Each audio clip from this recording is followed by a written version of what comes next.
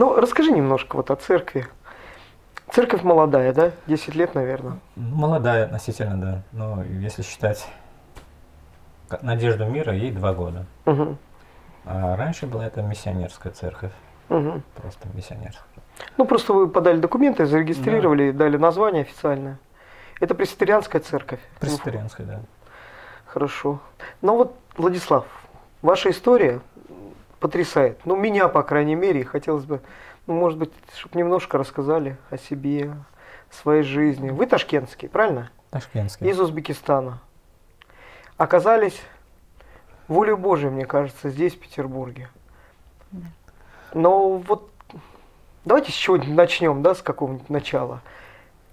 Что Ну, происходило в жизни? Как вы шли ко Христу? Ну, все удивительно. Я часто анализирую свою жизнь, прошлое, настоящее, э, и открывается мне просто, Мгм. открывается, что Бог давно уже меня вел. Я просто пытаюсь ответить на вопросы, почему, например, именно тогда, а не тогда я был призван Мгм. в церковь к вере. Ведь Бог, говорю я, мог бы это раньше быть призванным, сколько мог бы добрых дел совершить Ой, во это, славу это Божью, все да. мы И думаем. были такие возможности, но это наши мысли не, не Божьи мысли, конечно, и наши пути не пути Его. Ну, в той жизни, конечно, я был такой, вы знаете, чистолюбивый, очень самоуверенный. Ну, это же неплохие качества, Хорошие честолюбие. качества, да, я... Библия же говорит нам, кто епископство желает, доброго дела желает. Ну, с детства хотел добиться успеха, наверное, в этой жизни, и все время думал, вот нужно построить дом, посадить дерево, родить сына. Обычные земные цели. Мгм. Хорошо учился, заканчивал институт, ходил работать в банк и хотел делать карьеру, и все получалось, в принципе. Мгм. Получалось, Бог так благоволил, что я да, сделал блестящую карьеру, открывал коммерческие банки, был руководителем банка. Все это было в той прошлой жизни. Но все равно хочется узнать, как это. Вот, вот мы сидим два пастора, да? Но я не был банкиром. Я не открывал банки, которые гремели и до сих пор гремят на всю страну. Как это? Вот с чего началось-то? Ну как? М? Нет. Падение. э? Нет, нет, сам, сам, нет. Путь, путь э, к банковским вершинам, ну как обычно, э, вы знаете, вообще трудно. Детство было, я э, без отца рос. Мгм. И поэтому, наверное, было такое вот желание большое добиться успеха. Хотел учиться в школе хорошо, лучше всех, э, в институт поступить. Мгм. Не получилось сразу после армии, э, пошел, завершил. Потом пошел работать э, в систему государственную, систему государственного банка и карьеристом, как это, наверное, говорить в хорошем смысле этого слова, был, хотел больше всех работать, Мгм. после работы оставаться, что-то делать, проявлять себя. И, ну, была энергия, были силы. И вот э, через три года после того, как закончил институт, я сделал карьеру в государственной банке. Это был Успромстройбанк. Мгм. Это еще было советское Это время? было еще советское время, это был 89-90 год, начало 90-х. Вот, М. э, да, я где-то в 90-91 году я ушел в коммерческие структуры, стал открывать коммерческий банк, первый мой коммерческий банк, Алока банк, это банк связи. Ну вот как просто человеку начать?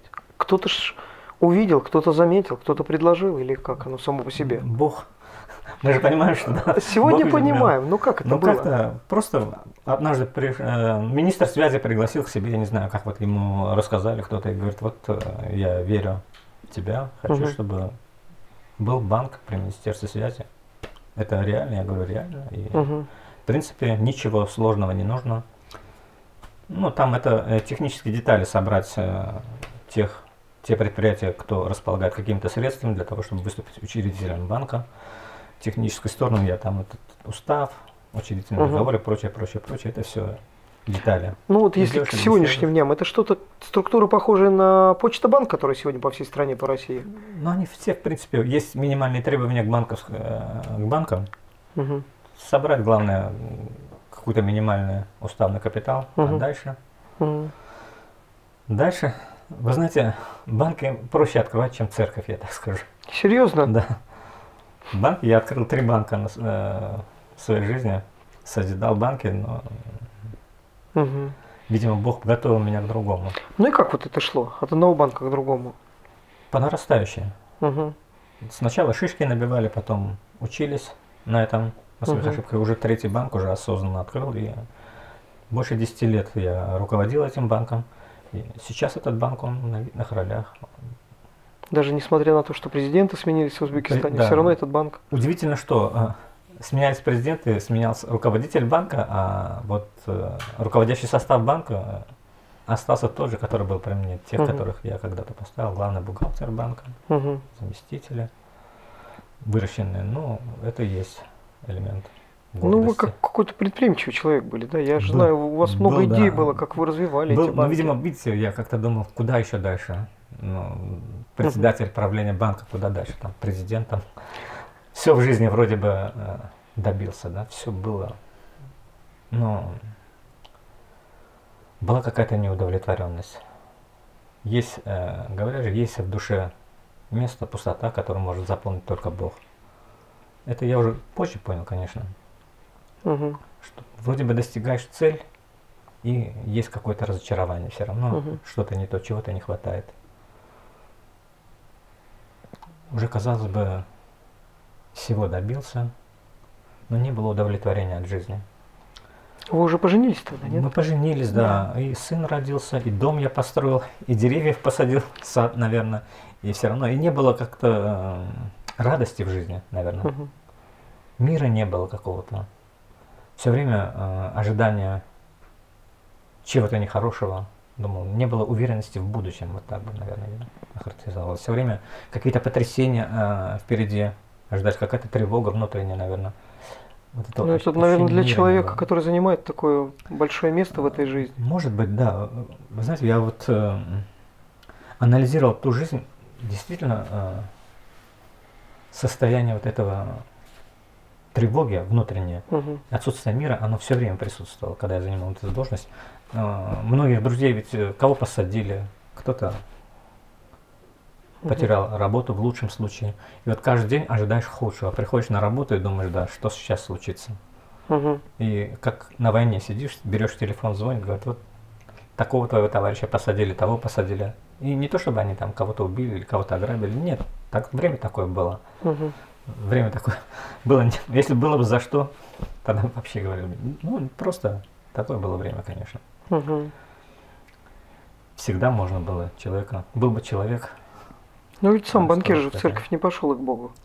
Это ж, если бы сам банкир пошел, у виска Знаете, я, я, сказали, с ума я сошел надеюсь, у меня человек. был, наверное, э, страх Божий был все равно. У меня, например, были э, много верующих мусульман Мгм. в банке, и вот знаете, когда они просили какое-то жертвоприношение сделать, я всегда, вы знаете, это поддерживал, такие начала, думал, да. Жертвоприношение или пожертвование? Если бы я вам рассказал, мы делали жертвоприношение, но вот э, как по Ветхому Завету, Мгм. всесожжение или мирная жертва. Мгм. В Рамадан мы закрывали банк, кассовый узел, приносили в жертву годовалого овна, все как полагается. Потом это жертвенное мясо раздавали э, М. нуждающимся, узнавали, вот, э, кто живет в округе, кто нуждается в этом. И считали, что мы занимаемся добрыми делами. Было Мгм. хорошо на сердце от этого. Ну и вообще, видите, э, к Богу прийти, не знаю, что мешало, наверное, я не считал себя грешным человеком. Вот благотворительность э, была, знаете, у меня была стена, на которой висело очень много благодарственных грамот от детских домов, например. Да? Мгм. Вы знаете, ну мы помогали, конечно, и считалось, что хорошим делом занимаемся, и вроде бы, если Бог есть на небе, то Мгм. он, в общем-то, если у него есть весы, то всегда добрые дела перевесят. Так вот я считал, думал. Мгм. Внутри-то была где-то вера в Бога глубоко. Но я считал себя праведным перед Богом. Я думал, если он есть, то он должен меня наоборот похвалить и сказать, молодец, Владислав, ты помогаешь людям. Мгм. Поэтому первый шаг к Богу это вот когда начинается с покаяния же все. Когда ты начинаешь понимать, что да, Но пока я не произошло в в Узбекистане же, нет? Узбекистане нет, до, до этого нужно было действительно все потерять. То есть это вот оттуда. А что, что супруга-то думает? Как вот? Ну, Тяжело падать, не знаю, терять я, всё. Вопрос не услышала, поэтому сказала, что с падения. А, я думала, вы задали вопрос, как вы к Богу пришли. Именно вот когда началось, я так спросила. на- начался вот этот этап, э, ну, это уже пришло Божье время, когда Господь стал просто забирать у нас то, что мешает э, приблизиться к Нему. А для человека первое это что? Это, естественно, власть, э, деньги, положение в обществе. Там, да. И в этот период ты видишь, как кто остается твоим другом, кто будет тебе действительно в этот момент вместе как бы плечо подставлять или слезу утирать. И в этот момент никого не осталось, по сути. Люди, которые наполняли наш дом, они оставили нас. И я видела состояние своего мужа и понимала, что надо просто уехать отсюда. Мгм. Уехать туда, где тебя никто не знает. И начать жизнь просто сначала. Ну вот как просто такой женщине влиятельной, чей муж летал первым классом по всему миру, открывал какие-то счета, там имел какие-то награды, заслуги перед разными государствами. Вот Все принимали его. Владислав Как вот? сказал, что э, хоть мы жили такой интересной жизнью раньше, но мне тоже часто было сердце пусто. Я все время искала Бога, и в 33 года я э, крестилась в православной церкви. Ну, я ходила, э, повторяла, делала то, что там делают. Однажды у меня такое было э, томление, ну, была в семье такая сложная ситуация, и я поняла, что я с чем пришла туда, с тем я и ушла. У меня не было никакого наполнения или освобождения. Я думала, в чем заключается вообще вот э, вера в Бога и хождение. Мгм. Ну, не слышала же слова живого. И э, поиск Бога был. А когда на нашем пути появился человек, который нас пригласил в Санкт-Петербург, я ухватилась вот за эту идею, и я поняла, что нам надо уезжать. И Но вы еще были там, Да, банки, да. все, все было. нет, уже он уже как он оставил работу уже. Ну, Вынудили? не сразу. Вынудили, да. Да, вынудили, да. И вроде бы, знаете, большой дом, все есть. Но уже настал такой момент, вот какой-то тупик. И вот в этот момент появился человек. Это сейчас мы точно понимаем, это все было в Божьем плане. Мгм. И именно глядя на него, вот я ухватилась и сказала, что надо ехать. Э, Но Владислав еще сомневался. Когда мы сюда переехали, этот человек очень торопил нас, он прям э, расписал нашу жизнь, и нам показалось, что действительно оно так может быть. Но Мгм. когда мы сюда приехали, было все, конечно, не так, как мы ожидали. И в течение полгода, наверное, мы потеряли практически все свои деньги, все, что у нас подогревало, укрепляло. То есть вот так, если подытожить, сначала потеряли всех друзей, Да, всех, кто был в да, доме, да, да. важные, влиятельные, дорогие. Да, да, да, да. Потом да. потеряли все свое. И имущество, финансы, богатство да. все. Мгм. И самое главное, этот человек здесь, он от нас отвернулся, и три года мы были сами. И вот в этот период я первая пришла в церковь, миссионерскую церковь, где коснулся меня Святой Дух, и прям вот первым служением я э, поняла, какая я грешница, и Господь меня просто в течение двух часов, это слезно, я как будто вот обнаженная была, вы знаете, Мгм. все с меня смылось, и слезы лились вообще без остановки. Наверное, в течение трех лет. Вот я ходила на богослужение, все время плакала, и люди не понимали, что она все время плачет. Но в тот период я видела вот своего мужа, которому было очень тяжело. Слушай, а можно я спрошу, а ты что чувствовал вот эти три года, пока она ходила? Ну, скажем так, было Ну, такое ощущение? ходил. всех кто Знаете, попало? если, если бы не было Бога, я, бы, наверное, я бы или спился, ну, или что- что-то еще бы хуже случилось. Да не похоже. Ну, человек, Ну, который всю жизнь я- стремится, работает. Да, но вот что значит нищий духом, да? А, Когда перестаешь надеяться на свои силы, на людей. Мгм. А я ведь надеялся еще, что здесь у меня были связи, я думал, приеду сейчас, меня помогут, я сам смогу. Я все время жене говорил, ты уезжай, я сам здесь поднимусь, я есть сила. Ну, расскажи Есть. немножко вот о питерском периоде об этом.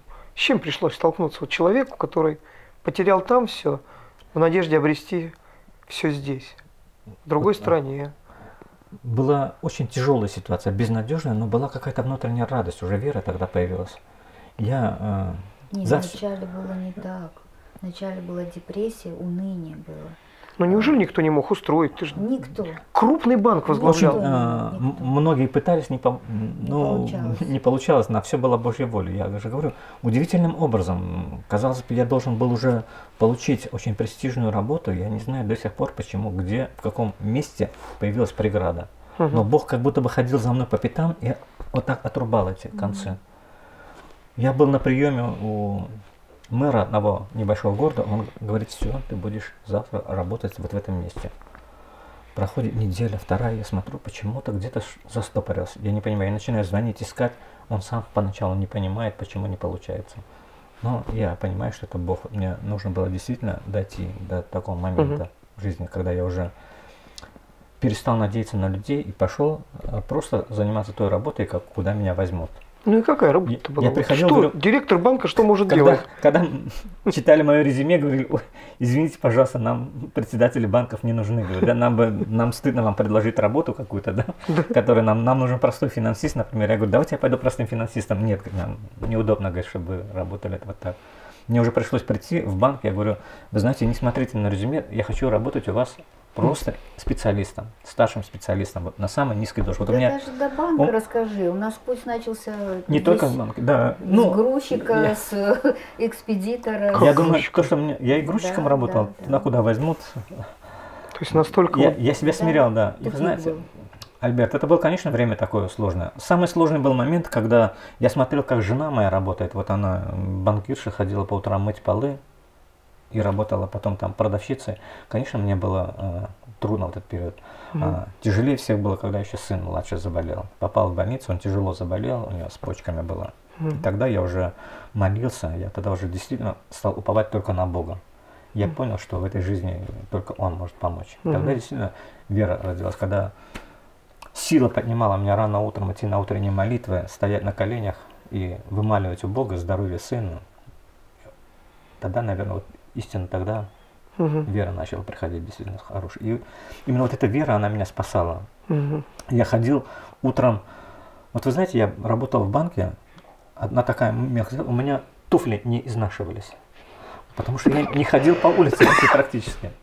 Вот она мне купила как-то жена туфли итальянские, несколько лет им было, э, ходил в них, и они как новые были у меня. И она мне как-то говорит, нужно туфли купить, я говорю, нет, у меня вот эти как новые. Потому что я из машины в кабинет, а у меня все везде ковровые дорожки были. И вы знаете, я как-то, э, будучи в Англии, был такой момент, когда я так хотел посмотреть город, я от всех оторвался, от делегации. И решил, вот я взял визитку от гостиницы, думаю, как устану, поеду, поймаю такси и приеду. А буду пешком идти, посмотрю город. И я один квартал прошел, и у меня ноги не, не, не ведут дальше, устали очень. Мгм. Я сел на скамейку, помню, хотелось мне плакать. Так хотел посмотреть город и не могу. М. Ходить не могу, потому что ноги не привыкли В ходить. Лондоне. Да, в Лондоне. И я курил, у меня одышка там, не мог ходить. Я вернулся, это э, у меня очень запечатлелся этот момент. Мгм. И вот когда я здесь, э, в Питере, стал ходить пешком, мне э, жалко было деньги на маршрутку, чтобы доехать до метро. Да я не пеш- жалко, их просто Я- не было. Не было. Я ходил пешком до метро, потом с метро выходил, вот э, со станции спортивной шел пешком на Васильевский остров, на третью э, линии у нас был, было отделение банка. Мгм. И у меня в день получалось там больше пяти километров пешком ходил. И я благодарил Богу, что я хожу пешком. Я говорю, благодарю тебя, Бог, говорю, у меня наконец-то ноги стали ходить, говорю. Я бросил курить, я курил по три пачки в день. Я уже, у меня одышка была, я не мог на второй этаж подниматься. А здесь я, мы жили на пятом этаже, я взбегал по лестнице и говорю, Бог, как хорошо, говорю, что я бросил курить, говорю, ты мне это сделал, у меня здоровье, я чувствую себя лучше, чем я был банкиром молодым. И вот это мне помогало, я все время находил радость, я всегда радовался. Я ходил пешком хорошо, я не... э, Вы знаете, у меня было действительно это э, обжорство какое-то, что ли, чревоугодие, именно когда мы ходили в Узбекистане кушать. На обед куда пойдем, мы сядем, чем еще побаловать себя. У меня был э, размер костюма 52 наверное, вы знаете, такой. Я Даже когда 54 был. сюда приехал до 50 потом чуть ли не до 48 доходил, это, представляете? Но я чувствовал себя хорошо. Мгм. Ну, конечно, многих, э, много чего не хватало. Не хватало там автомобилей привычных предметов. Но я как э, Павел научился жить и в скудости, и в изобилии. Мне радостно было, какая-то внутренняя радость была, потому что вера в Бога появилась. Мгм. У меня была цель достичь. И я верил действительно, что все это содействует ко благу, все это к моему. Я видел, что у меня здоровье стало лучше, я стал себя ощущать хорошо, и была вера, действительно, что я делаю важное дело что-то. Меня когда э, пастор спросил, есть ли желающие открыть домашнюю церковь? Мгм. Мы первые, у меня жена как только подошла, я говорю, нас не выгонят хозяева, если мы там будем гимны петь в квартире съемной. Ну ладно, говорю, все-таки Божье дело Бог усмотрит. Мгм. И с верой открыли домашнюю церковь, и к нам набивалось народа, человек 20-30 приходило к нам в квартиру. Мы распевали гимны. и э, радость все равно была внутренняя от до этого. этого. До этой радости путь-то долгий был. Конечно. Смиряться было очень трудно, Очень. потому что это сейчас он рассказывает такие вещи, а а первые три года, о, ну, во-первых, я поняла, что мы, приехав сюда, когда уже вот все заканчивалось, финансы, поддержки какой-то не было, никакой не было.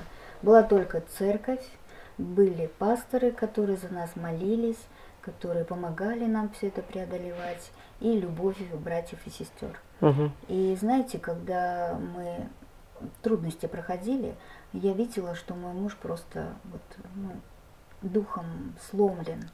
Он, ну я уже скажу, что он стал дома один выпивать, ему никто не приходил, никто не звонил. И вот эти друзья, которые у нас сейчас есть в, Ташке- э, в Москве, которые тоже, слава богу, уже уверовали, вот он рассказывал, 10 лет они не звонили нам. Мне всегда было удивительно. Они жили очень все хорошо, и никто даже не искал и не спрашивал, как ты поживаешь. Вот мне так было странно, что они не звонят Мгм. к нему. А я понимала, почему мой муж к ним не звонит, потому что ну, ему нечего было рассказать им. И он прям вот, э, я видела, он еле-еле как бы держался. Ну, И то я- есть по-мирски нечем было хвалиться, вот из-за да, этого, да, да? нечем было Не, хвалиться. не да то чтобы они бы не поняли. Я Ну, еще э, не имел той силы, чтобы э, разговаривать с ними. Мгм. Они бы просто не воспринимали, я понимаю это, что они бы не Ну, воспринимали мы были бы в их глазах просто жалкими, которые вот все потеряли и теперь ухватились только как бы Мгм. за церковь. Они даже не о Боге бы сказали, а за церковь. Мгм. И в Был такой период, когда Бог оградил меня от, общения с ними. Мгм. И вот когда именно наступила полнота времен, ну, когда можно было, когда я действительно стал пастором, когда уже Мгм. обрел силу, когда уже действительно я мог с ними встретиться, я хотел уже с ними встретиться, тогда Бог это и сделал. Мгм. это Тогда действительно, Тогда лет, уже э, из моих уст исходила вот эта сила Божья, когда- которая могла воздействовать на человека действительно. Мгм. Тогда Это такие близкие друзья, да? Да. Да, да. Мы раньше, э, когда все были на пике успеха, мы очень хорошо проводили дружно с семьями Мгм. время. И ну так вот получилось. А я рядом просто понимала, что если он не придет к Богу, Мгм. то в нашей жизни ну, ничего хорошего дальше не будет. Я просто понимала, что нужно вот в корне меняться, поменять свое отношение ко всему. И Мгм. я понимала, что самим это ну, невозможно, невозможно. Я видела в церкви людей, я слушала, я слушала историю пастора нашего. Мгм. Он был бывший бизнесмен, и он рассказывал свою историю, и я просто верила и понимала, что да, в жизни, оказывается, бывает, что вот такое бывает падение, и Бог поднимает. И у меня было только одно желание, чтобы муж пришел к Богу. Вы знаете, со стороны, наверное, это было фанатично смотреть на меня, потому что я ходила на утренние молитвы четыре раза в неделю, на вечерние по пятницам и субботние. И вот у меня, и при этом я работала на двух работах. Я удивляюсь, как мне хватало сил. Мгм. И я сейчас понимаю, что именно вот это хождение за Богом не, не дало вообще мне впасть в какую-то депрессию, уныние, Мгм. потому что вот я в благодати ходила, а Слово Божие, я когда читала Библию, я всегда ему говорила, я не понимаю, как будто во мне какой-то моторчик работает, и я Библию читаю, и вот знаете, как будто скорость увеличивается, как будто вот время торопится. Мгм. Вот. И вот этот путь смирения, он у нас был долгим. Господь обрезал нас очень жестко, было болезненно, но мы преодолевали. Конечно, и ропот у меня был, и не- непонимание, почему все это происходит. Но когда вера возрастала, и мы вот э, человек, который нас сюда пригласил, который от нас отвернулся, потом через три года появился, и он был тогда на пике успеха, и в этот период с ним случается такая трагедия, и через нас он приходит тоже к покаянию, и его жена, и сын. И вот когда мы понимали, в чем Божий план, вот это вот давало нам Мгм. радость. Мы понимали, что все это проходишь для того, чтобы, ну, потому что за этим стоит вот э, какой-то а- а, результат Божий. Мгм. Конечно, это надо было пройти. Это сейчас вроде бы легко, но я сейчас вспоминаю это время, это время. Это очень сложно было, конечно. Я думаю, как... Владислав ходил на работу, он не, не обедал, вот целый день. И когда наш младший сын заболел, у него поставили диагноз гломерулонефрит. Это с почками Мгм. проблемы. Вот представляете, ну, ребенок за сутки просто вздувается весь, отекает. Мгм. Попал в больницу. Ну, такой тоже до больницы тяжелый путь был. Я часто вспоминаю эти дни э, с таким угрызением, с чувством вины, потому что не было возможности там такси нанять, и я повела зимой ребенка на троллейбусе, а он отекший, не мог даже сапожки застегнуть.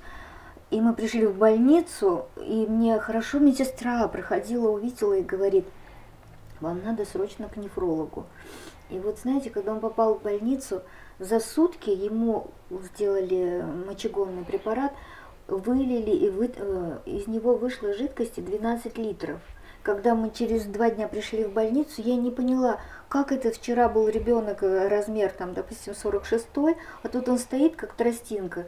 Я ничего не могла понять. А через три дня он опять вот так надувается. И вот это вот у него длилось больше года, почти два года. Мгм. Вот это был самый трудный период. Э, Когда Владислав, он ходил на работу на Васильевский остров, э, он без обеда, и мы ничего ребенку не могли принести в больницу, кроме питьевой воды.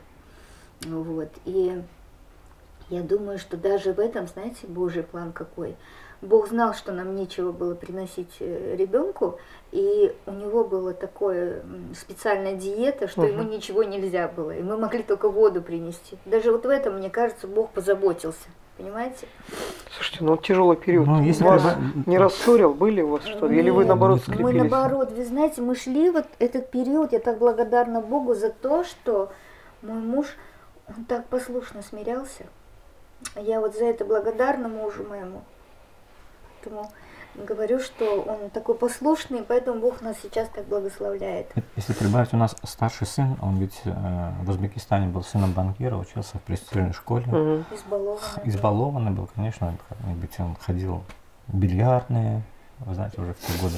И здесь, э, попав в Санкт-Петербург, он не понимал, что произошло здесь. Потерялся. Потерялся Мгм. тоже, да. Он мир.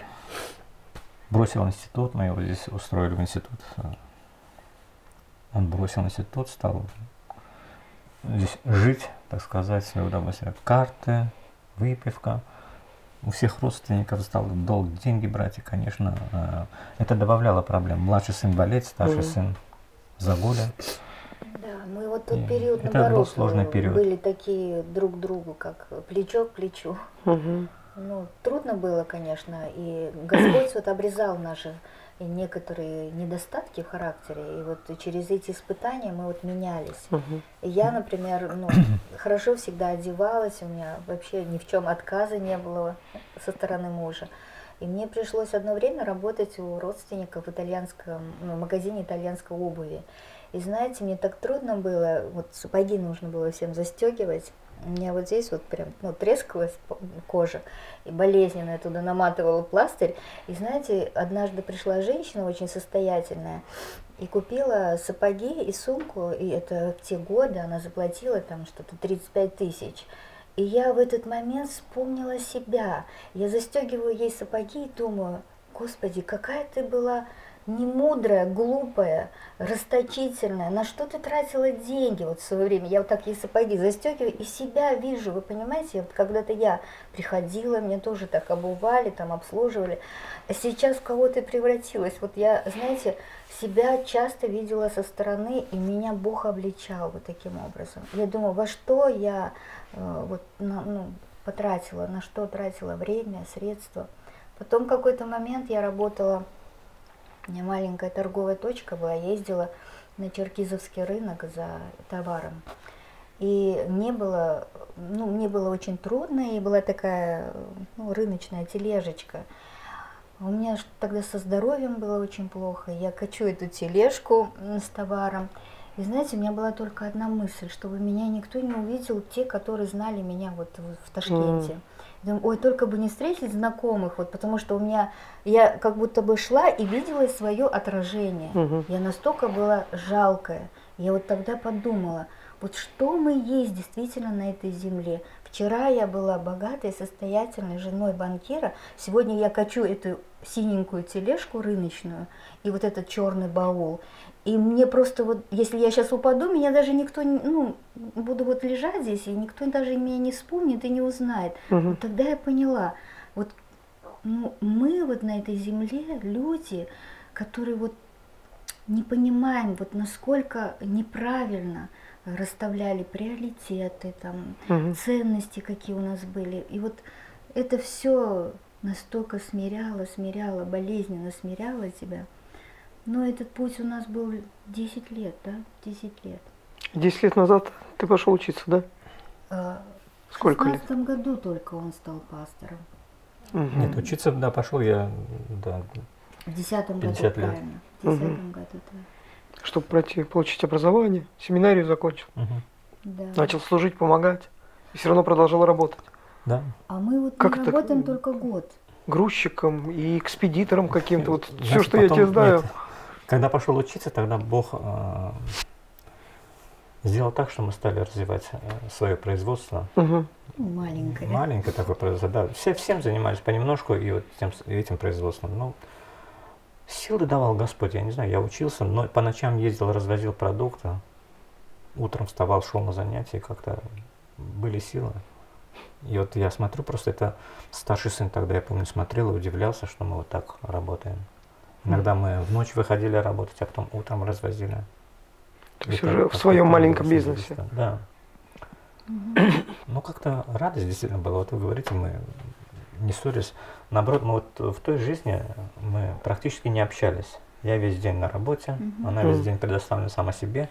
При- Приду вечером, но я считал, что вот обеспечил деньгами все, все, что нужно, да. Я свои обязанности перед семьей выполняю. А здесь как-то даже ближе стали узнавать друг друга. Трудно было, но в трудностях именно поддерживали. Мгм. Ну вот, э, когда пошли учиться, Бог давал радость, вот это вот, э, когда есть цель в жизни, когда видишь церковь. Слушайте, Когда- ну ваша жизнь, наверное, открыла глаза, помогает сейчас видеть людей. Да, это Вот нужно, чем да, они это- Это, приходят. же Да, нужно пережить, да. да. Когда переживешь, это, конечно, тоже ощущаешь. Знаете, однажды мне было до того трудно, и у нас был пастор-миссионер. Я села однажды и говорю, пастор, почему так трудно? Вот мы идем за Богом, а лучше не становится. Вот каждый день как будто еще хуже и хуже. И знаете, он мне тогда такие слова сказал. Знаете, дьякон Наталья, Бог вам дает эти испытания, чтобы потом, когда-нибудь, вы могли, говорит, утешать других людей. Мгм. И у вас, говорит, уже будет пройдено это, вы будете уже знать, как помочь, что сказать. Вы знаете, для меня это был момент такого ободрения. Мы Мгм. пошли, такие вот, если на нас посмотришь, такие жалкие, несчастные, но мы пошли, как будто вот обрели новую силу. Мгм. И я уже понимала, почему я прохожу эти испытания. И действительно, вот сейчас мы служим в церкви, когда приходят к нам люди разные, у каждого свои беды. И есть что им сказать, потому что я в своей жизни от Бога в такой ситуации вот таким образом получила помощь, понимаете? Вот, Вот, так вот Да, Бог нам когда помог. Вот то, что мы прошли, это Мгм. помогает э, свидетельствовать людям и так, чтобы люди получали ободрение. Мгм. Они сильно видят, что это не просто слова, а это пережитые события. Когда человек свидетельствует, они действительно получают ободрение, благодать. Поэтому нам даже говорят, вам нужно служить, просто св- св- свидетельствовать, ездить. Иной раз, говорит, ваше свидетельство, как нам сказали в Москве на пару, говорит, это как лучше многих проповедей, которые мы вот слушали, ходим в церковь, говорит, один раз посидели с вами, говорит, нам это дало гораздо больше для веры. То есть и нам вот именно мы сейчас понимаем, вот э, уже по прошествии времени понимаем, что все это действительно содействовало ко благу, действительно, как говорит Яков, чтобы мы могли утешать людей тем утешением, которое нам дал Господь. Ну вот подытоживая, можно так сказать, Мгм. Христос в вас, упование славы. Аминь. Да. Спасибо вам большое, Владислав. Я так рад, что приехал в Питер, увиделись. Для меня это просто большая радость. Когда мы познакомились первый раз, я узнал, но я много думал, вот как Это же судьба человека, да? Вот самого-самого человеческого небосвода, да, вдруг. Да. И не просто вдруг, не в своей стране, в чужую страну пришлось переехать, да? Родиться, вырасти в Узбекистане, иметь связи, друзей там и все. Ну, наверное, за кадром осталось то, что пришлось чуть ли не убежать, да, чуть не посадили же, да? Да. Что время тяжелое было такое, когда Ну, мы, слава богу, уезжали спокойно, потому что, э, живя там даже как бы такой успешной жизнью, мы все равно были такие более-менее скромные. У Мгм. Владислава было всегда такое чувство меры. Он всегда меня воспитывал, говорил, что не нужно тебе этих излишеств, потому что а, это все приведет, говорит, к моему падению. И я прислушивалась, у меня ну, я как бы могла тоже э, ограничивать себя. Возможно, вот это тоже помогло нам оттуда спокойно уехать. Мы не убегали, мы, Мгм. нам нечего было бояться. Просто вокруг, да, обстановка была такая. И мне всегда было приятно, что о моем муже говорили хорошо, Мгм. что он не алчный, не взяточник, что он не аферист. Его уважали. И знаете, так интересно, что приехав сюда, вот начав сначала, действительно вот имя свое, как бы своей жизнью мы шаг за шагом, вот если сейчас спросят о нас кто-то, я точно знаю, что вот никто не скажет, что мы здесь в трудностях, там кого-то Мгм. обманули, кого-то подвели. Даже устраиваясь на работу, мы настолько такие доверчивые, честные были, Мгм. что много раз нам просто не выплачивали деньги. И мы спокойно как бы благословляли, уходили. Поэтому м, вот этот путь, он чудесный, замечательный. Действительно, только в Боге все имеет настоящую ценность. Маленькая победа, она настолько ценна. А вот раньше мы жили без Бога, какие бы успехи не были, они такие настолько мимолетные, и они быстро потом забываются. А в Господе это все свидетельство. Это свидетельство Божьей славы, Божьей силы, Его любви. Потому что вот без Божьей любви нам очень тяжело было бы все это преодолеть. У меня в жизни было разные моменты. Я детство было не, не, непростое. Поэтому я, э, как Павел говорил, что когда говорю, что умею жить в скудости и в изобилии, это не, это не слова. Действительно, я могу довольствоваться и малым, и большим.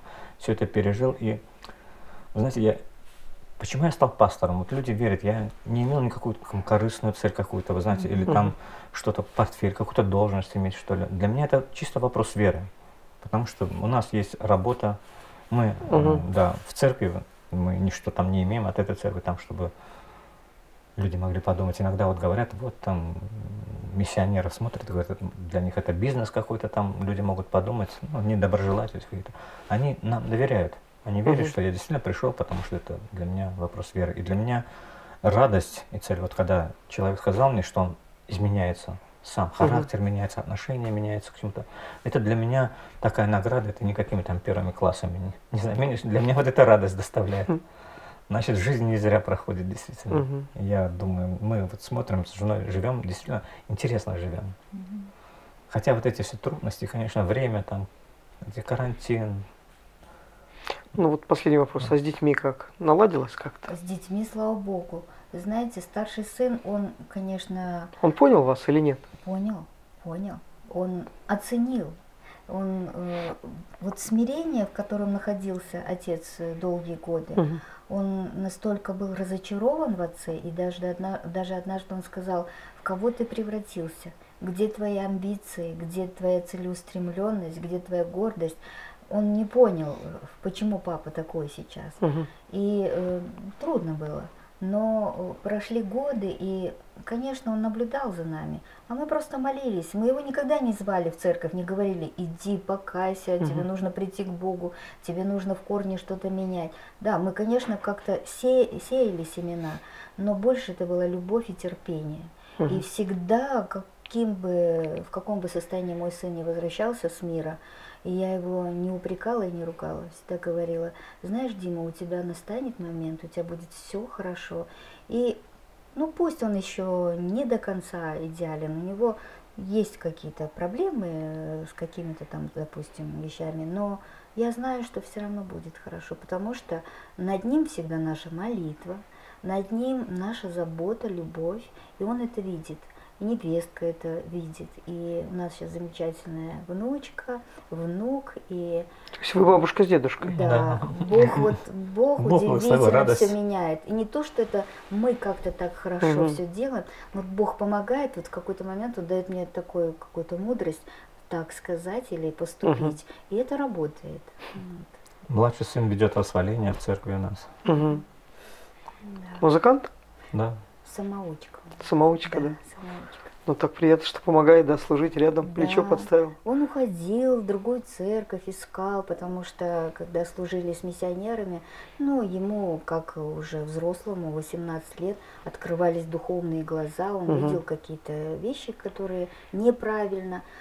Потом он через 4 года, уже когда поженился, по молитве они получили откровение, он понял, что у нас действительно как помазание семейного служения. Мгм. Когда вот мы семьей служим, это сила, э, и мы как бы в служении действительно хочется просто людям помочь вот э, элементарных вещах, просто наладить хорошие взаимоотношения, правильные в семье, э, с Богом, с окружающими. Вот и все. Вот, вот это, мне кажется, основа всего, чтобы вообще в нашей стране было все хорошо. Спасибо вам огромное. Я даже не знаю, не хочу ничего говорить после. Ваша спасибо. жизнь. Я, честно, ваша я судьба. искренне рад, что мы, Бог сталкивается с такими людьми. Спасибо вам, спасибо. Ваше свидетельство. Спасибо. Знаете, вот ради этого стоило приезжать в Санкт-Петербург.